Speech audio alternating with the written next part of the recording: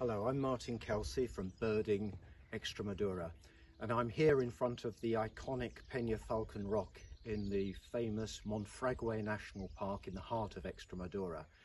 Here you can see a habitat ideal for breeding colonies of griffon vultures.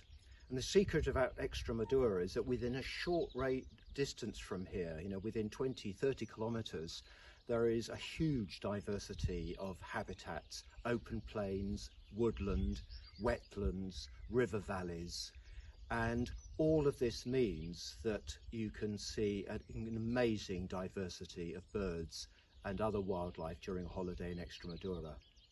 I specialise in offering uh, customised, personalised, exclusive uh, birding tours and also tours for looking at butterflies, orchids, dragonflies through the year in Extremadura. You'll stay at uh, with my wife uh, Claudia and myself at our house uh, close to the Monfragüe National Park and other attractions and from there using that as a base we'll be able to explore a different habitat every day so that a holiday is packed full of interest and variety and at any time of the year uh, there's so much to see. Flocks of big uh, of cranes in the winter, the wonders of, of spring migration and dragonflies along watercourses in the summer. We have all that to offer. Do come and stay.